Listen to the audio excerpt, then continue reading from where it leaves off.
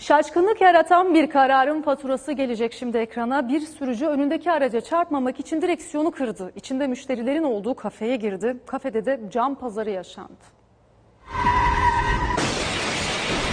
Önündeki araca çarpmamak için kafeye girdi. Müşteriler otomobilin altında kaldı. Garson duvarla araç arasında sıkıştı.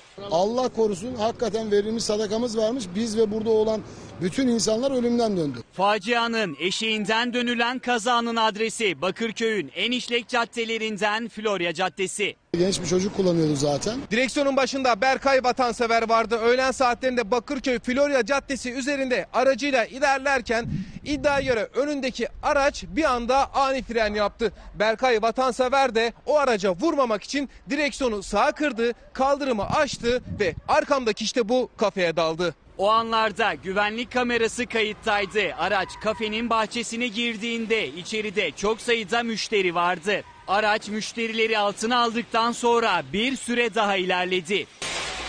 Son olarak garsona çarptı. Talihsiz garson araçla duvar arasında sıkıştı. Herkes büyük bir şok yaşadı. Olay yerine sağlık ekipleri çağrıldı. Kırıyorsun da insanların arasına dalıyorsun. Yani sürü değil ki burada. Sürü olsa ne? Can sonuçta. Ayağından yaralanan Muammer Bulak sürücüye tepki gösterdi. Kırmak yerine vur arkadan. Mala gelsin burada canı yani hiç edeceğine. Biz ölümden döndük. Biz ve burada olan bütün insanlar ölümden döndü. Ortalığın savaş alanına döndüğü kazada bir garson, üç müşteri yaralandı. Ambulanslarla hastaneye kaldırıldılar. Polis de kafenin bahçesine dalan o sürücüyü gözaltına aldı. O sürücü polis merkezindeki ifadesinin ardından serbest kaldı.